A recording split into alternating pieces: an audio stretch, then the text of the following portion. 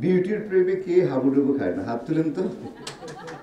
মানে এখানে কি এমন একজন আছে যে আমাদের বিউটির প্রেমে পড়েনি? বিউটি সাচি ক্যারেক্টার যে তার প্রেমে পড়তেই হয়। সো তাকে ঘিরেই এই সিনেমা। আমার ক্যারিয়ারে বিভিন্ন ধরনের চরিত্রে আমি অভিনয় করেছি। আই বিলিভ যে এই ধরনের চরিত্রে এর আগে আমি অভিনয় করিনি এবং জীবনও করব না। সিরিয়াসলি বিকজ আমি সবসময় আমার একটা পজিটিভ ইমেজ পজিটিভভাবেই আমি পর্দায় আসতে পছন্দ করি।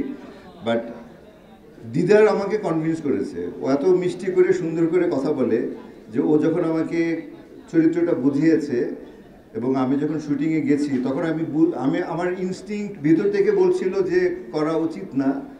বাট আমি আবার সিচুয়েশনে গিয়ে মনে হচ্ছিল না করা উচিত।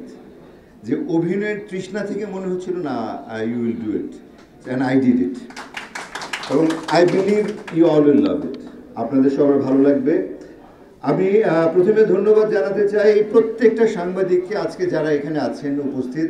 আপনাদের কাছে অনেক বড় একটা অস্ত্র আছে, যেটা দিয়ে আপনারা সারা বাংলাদেশের প্রত্যেকটা মানুষকে বিউটি সার্কাস সম্পর্কে জানিয়ে দিতে পারেন। এবং আমি চাইব আপনারা যেন এই কাজটি করেন নিষ্ঠার সাথে। কেননা বিউটি সার্কাস একটি ভালো সিনেমা দর্শক ভালো সিনেমা দেখতে চায়, আমরা প্রমাণ পেয়েছি।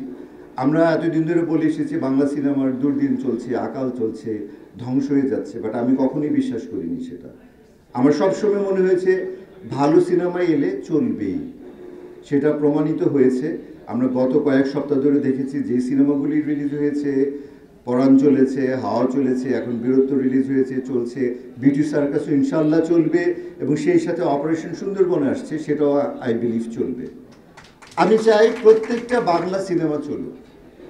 বাংলা সিনেমা বাঁচলে আমরা বাঁচবো।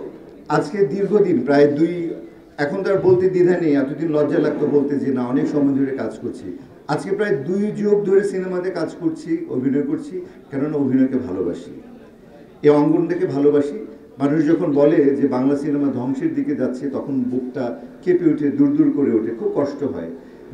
প্রচুর মানুষ জড়িত। আমি সে, আমি চাই না যে সার্কাস নিয়ে যেরকম সিনেমা হয়েছে, চলচ্চিত্র নিয়ে যেন সেরকম সিনেমা হয়, যে চলচ্চিত্র ধ্বংস হয়ে যাচ্ছে। সিনেমা ইজ দ্য আলটিমেট বিনোদন আই বিলিভ সার্কাস হারিয়ে গেছে বাংলাদেশ থেকে, সার্কাস বাংলাদেশের একটা ঐতিহ্য।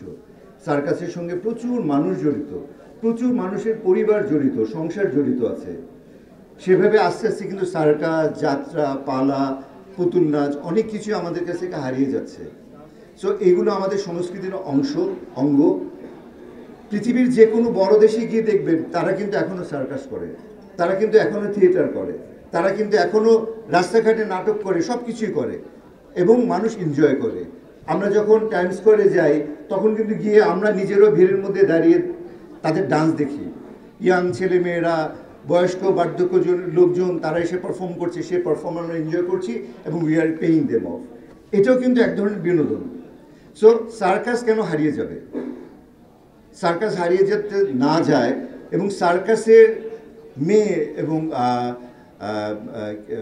যাত্রার মেয়ে তাদেরকে খুব সহজলভ্য মনে করা হয়।